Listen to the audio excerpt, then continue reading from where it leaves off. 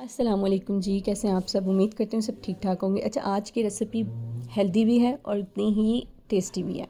तो ये है होल वीट और शक्कर का चॉकलेट केक अच्छा इसके अंदर इंग्रेडिएंट्स कुछ ऐसे हैं कि आपने होल वीट लेना है फ़ाइव टेबल स्पून मैं छोटा वाला केक बना रही हूँ तो आप अपने हिसाब से ले लें अगर आपने बड़ा बनाना है। इसमें मैंने बेकिंग पाउडर ऐड किया है वन फोर्थ टी स्पून ठीक है, उसके बाद मैं इसमें बेकिंग सोडा ऐड करूँगी वन पिंच ठीक है? डबल कर रहे हैं मतलब टेन टेबल स्पून पे जा रहे हैं तो आप चीज़ों को डबल कर लीजिएगा। अच्छा यहाँ पे मैंने five five tablespoon sorry five tablespoon मैंने इसमें शक्कर ऐड करनी है और फोर टेबल स्पून मैंने इसमें कोको पाउडर ऐड किया है।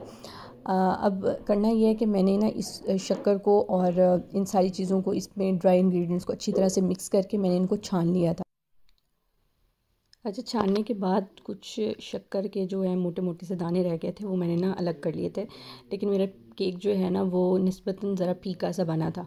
तो आपने क्या करना है, आपने इनको अच्छी तरह से एक दफ़ा ग्राइंडर में ग्राइंड कर लेना, ये जो बच जाएगा, आपने इसको ज़ाया नहीं करना, वरना केक जो है ना आपका फीका बनेगा। तो आपने इसको ग्राइंडर में ग्राइंड कर के अच्छी तरह एक दफ़ा फिर से छान के तो आपने केक में जो है ना, इस रेसिपी में आपने शामिल कर देना है। अब इसमें थ्री टेबल स्पून हमने वेजिटेबल ऑयल शामिल कर देना है। दूध इसमें मैं ऐड करूँगी छः टेबल स्पून भर के। इसको अच्छी तरह से आपने मिक्स कर लेना है कोई लम्ब्स ना रह जाए। मैंने फोक से इसको अच्छी तरह से मिक्स कर लिया था। इसके बाद इसको माइक्रोवेव कर लें। आप टू मिनट्स के लिए टू मिनट से ज़्यादा आपने माइक्रोवेव नहीं करना।